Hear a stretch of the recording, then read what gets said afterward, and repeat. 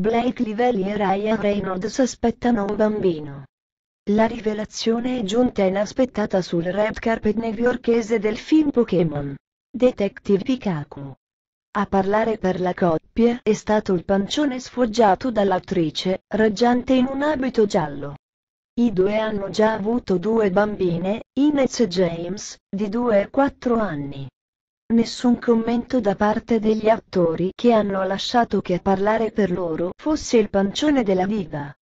Quella che hanno fornito nelle ultime ore è la dimostrazione che, anche a Hollywood, proteggere a tutti i costi la propria privacy è possibile.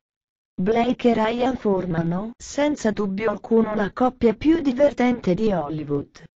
Sono emblematici in questo senso gli scambi di post e tweet dei due sui social, dichiarazioni d'amore a metà tra il romantico e l'irriverente, comprese le foto scattate a tradimento rese pubbliche anche se non mostrano nessuno dei due al meglio della forma. Blake e Ryan hanno trovato un equilibrio perfetto che consente a entrambi di portare avanti le rispettive carriere, essendo sempre presenti per i loro figli. È raro che accettino copioni nello stesso periodo, per fare in modo che almeno uno dei due sia sempre a disposizione delle bambine. E se questo non è possibile, i luoghi vicini al set diventano casa, posti nei quali si trasferiscono in quattro a breve in cinque per continuare a stare insieme. A People, di recente, Reynolds ha raccontato la loro tipica organizzazione familiare. Blake e io non facciamo film allo stesso tempo altrimenti non ci vedremo mai.